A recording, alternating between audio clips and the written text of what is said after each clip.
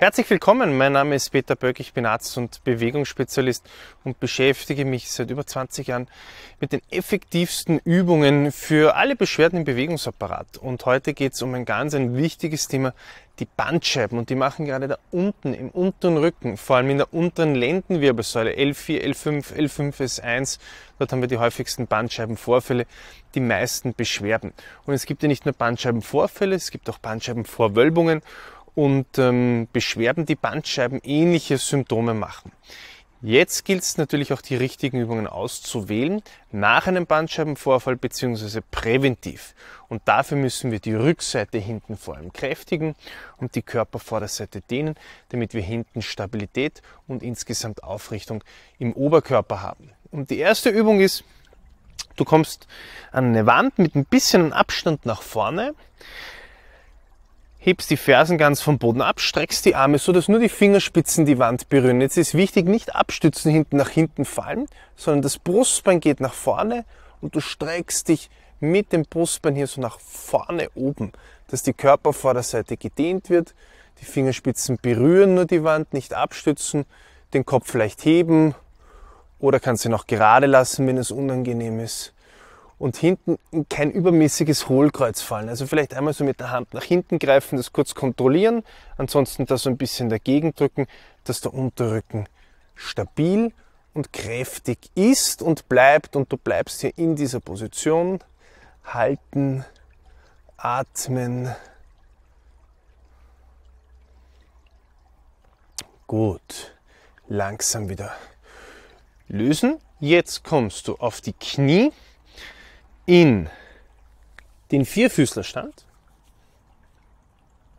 und richtest dich jetzt aus dieser Position heraus auf im Oberkörper, streckst die Arme und machst so eine leichte Rückbeuge. Wieder gleiches Prinzip wie vorhin an der Wand.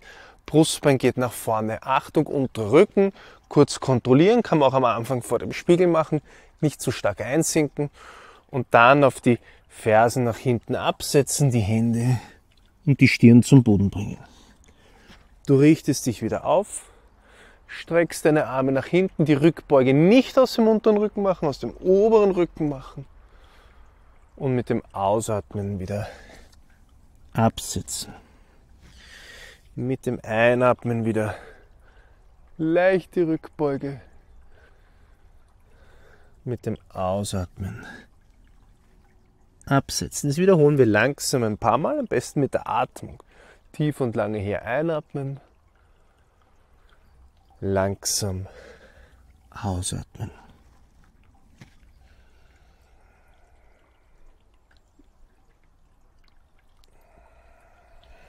Du achtest auf den unteren Rücken, der bleibt kräftig und stabil, vor allem in der Streckung. Dann wieder runtergehen noch eine letzte Wiederholung.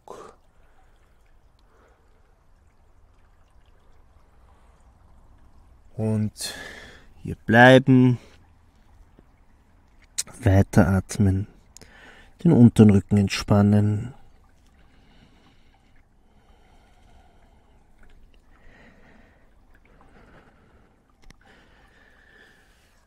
Gut, jetzt kommst du aus dem Vierfüßlerstand mit den Händen deutlich weiter nach vorne, so dass wenn du jetzt nach hinten dich absetzen möchtest, nicht zu den Fersen kommst, aber trotzdem der Rücken schön gestreckt ist. Und genau das machen wir jetzt. Kommst hier nach hinten. Wenn es im Nacken anstrengend ist, kannst du auch den Kopf ablegen oder du legst den Kissen drunter. Bleibst hier und du siehst, mein Rücken ist jetzt ganz gestreckt, sinkt nicht ein, Atmest hier ganz entspannt wieder ein und aus. Bleibst in der Position.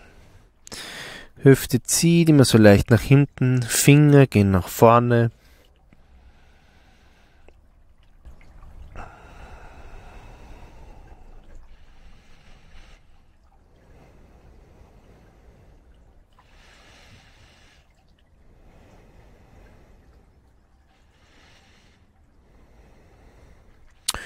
Gut, und dann langsam wieder lösen.